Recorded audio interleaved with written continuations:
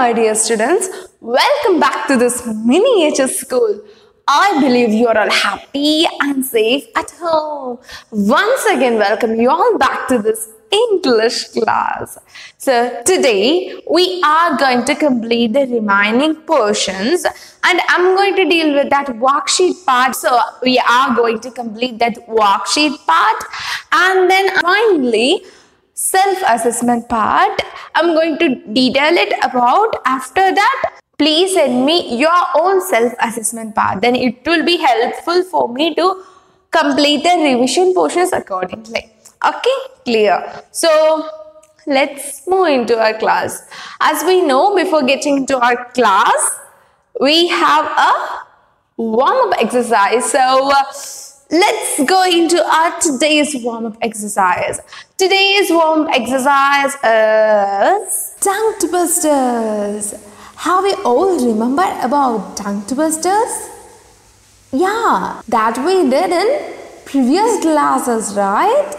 Yes today as warm-up exercise we are going to do tongue twisters three tongue twisters and that is going to be fun as well as easy for you it will help you in pronunciation practice reading things okay so the first tongue twister for you is my mummy makes me muffins on mondays so the pronunciation process is like m, m, m, m, m. This is the process.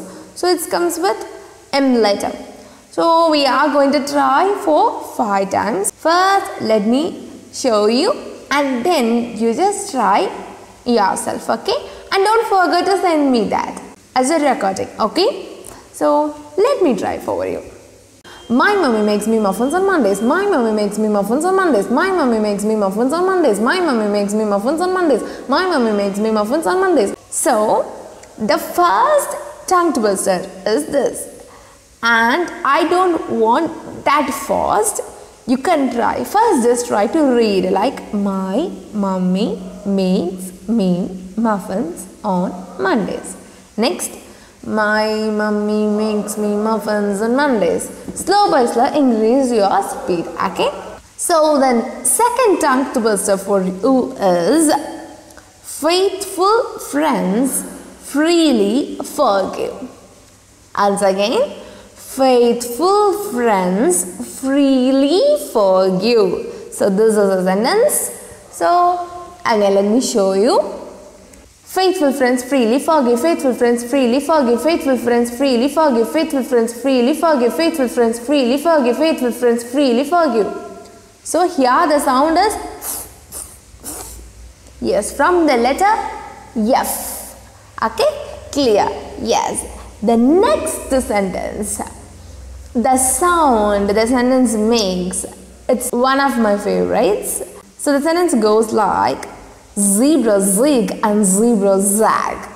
See, the sound is like z, some kind of vibration. Z, from the letter Z, 26th letter, yes? So, this is a sentence. Let me show you. Zebra zig and zebra zag, zebra zig and zebra zag, zebra zig and zebra zag, zebra zig and zebra zag, zebra zig and zebra zag, zebra zig and zebra zag. So, you can feel the vibration, right? So, these are the tongue twisters for you. Please get at least, okay, three times. Each sentence, three times. Try it out and send that to me to my personal WhatsApp number. Clear? Okay, children. So, let's move to our today's class. That is worksheet 3 B part. Page number 25. English workbook page number 25 worksheet number 3 B part. Clear? Let's move into that.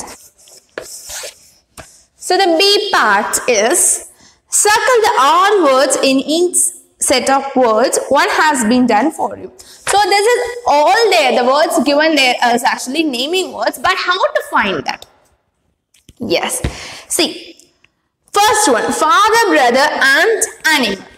So let's think about that. Let's think about these things. People, animals, things and places. These things. Okay. So for example, they done that for you. I'll explain that. Father comes under people. Brother comes under people. Aunt comes under people. Animal is the next set, right? So animal is a noun, clear.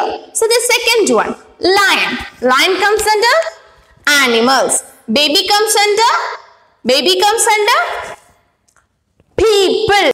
Pigeon comes under animals. Fish comes under animals. So the auto noun is baby. So the second answer is baby. Circle it. So here, the third one, sky, lion, star and moon. So we know that sky related with moon and that related with stars. The odd one is lion.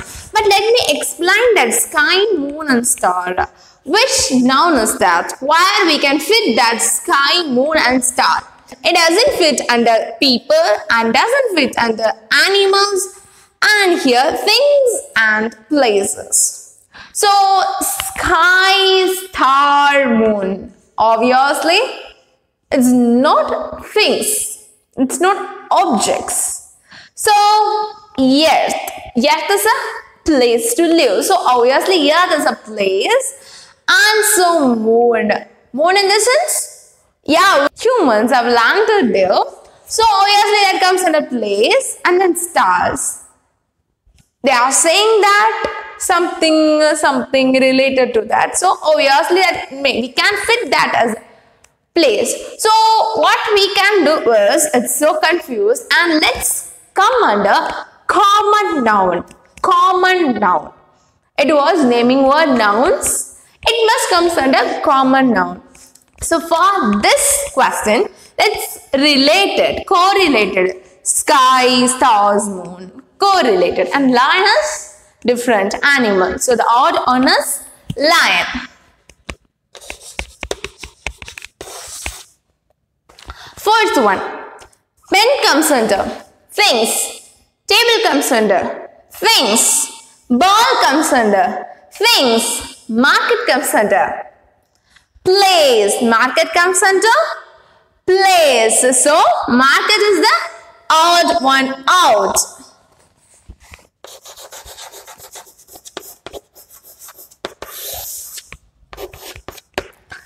Market.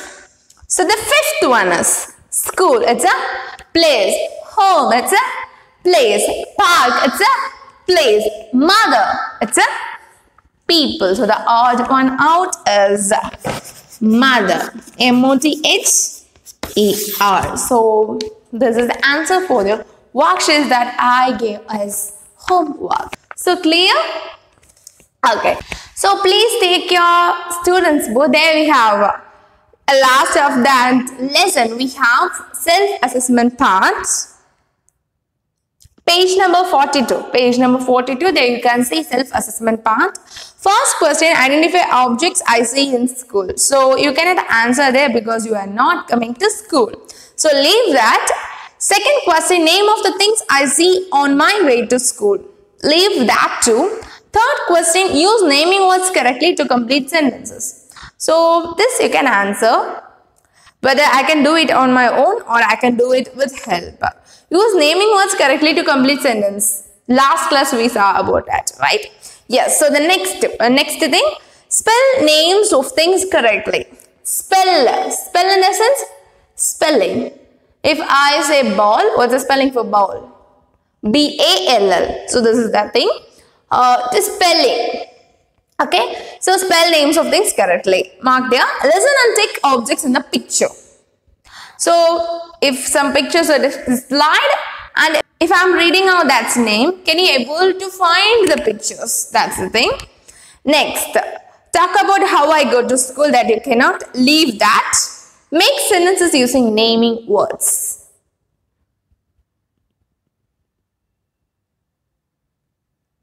That we saw in last class. So this self-assessment part. So please make that your self-assessment part and send that to me. So So here we completed our today's portion. So today's activities are first tongue twister and second this self-assessment part. So please don't fail to send me the self-assessment part then it will help me to lead you. Okay. So make sure you are sending your both activities to me. Okay children. Thank you. Take care. Bye-bye.